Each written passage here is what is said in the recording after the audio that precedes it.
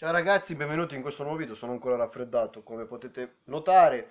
Allora, prima di tutto, premessa importantissima, oggi lo devo col cuore, un ringraziamento speciale a JWS Juventus Women Supporter che grazie alla loro diretta sono riuscito a vedere Juventus Atalanta Mozzanica femminile, altrimenti non si poteva vedere. Eh, rispetto all'anno scorso, secondo me, a livello di visibilità è stato fatto un passo indietro. Nessuno lo dice, lo dico io perché l'anno scorso, perlomeno, tutte le partite del casalinghe della Juve erano su Juventus eh, TV. E adesso, con la scusa che le ha prese Sky, fanno vedere una partita a settimana, tutto il resto è nebbia, non si vede. E quindi, francamente, credo che abbiamo fatto un netto passo indietro. Netto, netto, e non va bene sta cosa. Mi va bene Sky, ma la Juve avrebbe dovuto continuare a far vedere le partite della Juventus femminile, almeno quelle in casa. Ecco. Detto questo, finisce 1-1, Juventus che butta via due punti. Non ci sono scuse, non ci sono attenuanti, questi sono due punti persi. Brutto, un brutto pareggio. Alla fine, se andiamo a vedere la situazione di classifica, era importante oggi vincere perché era nettamente alla, alla portata della Juve. E Atalanta che è passata subito in vantaggio con un'autorete di Salvai eh, Juventus che dimostra che dietro, quando non c'è Saragama, subisce sempre qualcosa, c'è sempre la, la, la, il rischio di ripartenze. Ma la cosa più grave è che se la Juventus non, eh, non sblocca Bonansea, le partite si mettono sempre in maniera difficoltosa. Bonansea è l'ago della bilancia. Oggi Bonansea ha disputato una partita normale, cioè non nelle sue corde. Lei di solito fa partite eccezionali, ne sta facendo normali e sta giocato in maniera normale. E questo ha portato la Juventus alla fine a trovare fortunatamente il gol pareggio con Aluco ma niente di più. Poche occasioni c'è stato un gol annullato a Girelli purtroppo era da annullare che questo va detto. Una punizione alta Girelli sullo 0-1 per l'Atalanta ha sbagliato pure un rigore e anche lì io credo in Cristiana però magari se continua a sbagliare i rigori forse vuol dire che non è proprio tranquilla ed è il caso forse di cambiare tiratore per questo periodo, magari poi glieli faremo tirare più avanti, no? Cioè, ma lì dico un'allenatrice dovrebbe pensarle queste cose, no? Ci sono tante cose su cui un'allenatrice dovrebbe pensare, io uno che continuo a chiedermi è Sanderson cosa l'abbiamo preso a fare, visto che questa squadra ha bisogno di un attaccante di peso, è spudorato, a Luco non è un attaccante di peso, un attaccante, a me piace tantissimo Luco, a me a Luco piace tantissimo, è la mia giocatrice preferita insieme a Bonansea. Ma Bonansea e Luco non sono attaccanti, sono esterni d'attacco, seconde punte. Serve un attaccante di peso che in queste partite, anche se gli mette una palla alta, la butta dentro. Non è un caso, abbiamo avuto 20 calci d'angolo e non troviamo un gol su calcio d'angolo. Ci sarà o no un motivo? Ci sarà o no un motivo?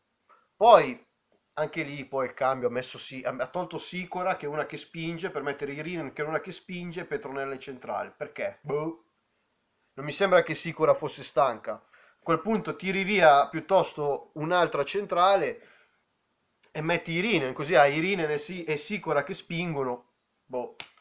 E niente ragazzi, il, sotto la pioggia di Vinovo è venuto fuori questo pareggio che non va affatto bene e rovina nettamente i piani scudetto della Juventus attualmente. Quindi vuol dire che la Juventus deve mettersi in testa che per vincere il campionato bisogna far di più. La Juventus Women non possono permettersi di pareggiare con questa Atalanta, che è una squadra di tutto rispetto, ma è sempre l'Atalanta e secondo me in questo campionato fa parte nella metà, secondo me sono da dividere a metà il campionato, e, e diciamo l'Atalanta è, fa parte di quella sorta di squadre che dovrebbero essere facilmente battibili. Non è concepibile una partita come questa, non è concepibile. Non è concepibile e come io reputo ancora inconcepibile molte cose, tra cui ad esempio il motivo, ripeto ancora, perché non gioca Sanderson, probabilmente oggi era infortunata visto che non è stata convocata, però tutte le volte, e qua da inizio anno che guardiamo le partite della Juventus Women, e qualcuno ha avuto la fortuna di guardarle anche con Filippo Ruvolo e il gruppo JWS, eppure nonostante questo continuiamo a vedere in panchina Sanderson e il motivo ci è ignoto. C'è ignoto e noi continuiamo a aver bisogno di un attaccante di peso. Non lo so, non lo so ragazzi, io non la vedo bene quest'anno, starò sempre vicino alle ragazze, farò i video comunque, eh, farò i video, continuerò a fare i video senza problemi perché amo la Juventus e amo le Juventus Women, però ecco non sono molto ottimista, anche perché guardo la Fiorentina con tutti i difetti che ha la Fiorentina, perché la Fiorentina me ha dei difetti anche lei non indifferenti, però è andata a vincere tranquilla a Sassuolo e, e niente ragazzi Fiorentina da vincere a Sassuolo, ha, batto, ha, buttato la squadra che l'anno scorso ha vinto il campionato danese, noi siamo stati fuori da chi è arrivato secondo. Non lo so ragazzi, cioè, queste sono tutte cose, cioè, io ho visto la partita anche estiva col Chelsea, e giustamente chi mi chiedeva dicevo sì, le squadre inglesi sono più avanti, però poi guardo la Fiorentina giocare col Chelsea, finisce 1-0. Cioè, tutte queste cose qua, boh, cioè, mi fa pensare, o la Fiorentina è troppo più avanti di noi, o noi abbiamo un problema. E secondo me noi il problema ce l'abbiamo, ed è il problema che purtroppo si siede in panchina, ma lo asserisco da un po' di partite. Ragazzi, ma io questo lo dicevo già l'anno scorso, eh, non dimentico la Coppa Italia persa col Brescia e, e il campionato rischia, e il rischio di aver perso un campionato secondo me già vinto, come quello dell'anno scorso. Ragazzi, dunque, finisce 1-1 tra Atalanta Mozzanica e Juventus. Juventus, Atalanta Mozzanica purtroppo pure in casa. A memoria, se non ricordo male, dovrebbe essere il primo pareggio nel, nel, in campionato della Juventus Women da quando è stata fondata. Perché eh, abbiamo vinto tutte l'anno scorso, abbiamo perso soltanto eh, la partita col Brescia e con la Fiorentina due sconfitte abbiamo fatto. Quest'anno abbiamo vinto tutte, quindi sì, è il primo pareggio nel Serie A, nel campionato di Serie A per le Juventus Women dalla loro storia. Va bene. Doveva capitare, era meglio che non capitava, però. Ragazzi, vi saluto e vi do appuntamento per i prossimi video. A proposito, tra, un'ora, tra circa tre ore andrò in, andrò in, scena qua proprio su questo canale.